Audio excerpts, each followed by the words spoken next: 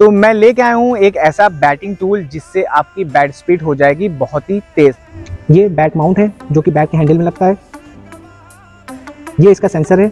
ये ये इसका चार्जिंग पॉइंट है। बताता हूँ कि ये बैटिंग टूल कैसे इसके ऊपर लगाया जाता है। अब ये इसका थ्री सेंसर है।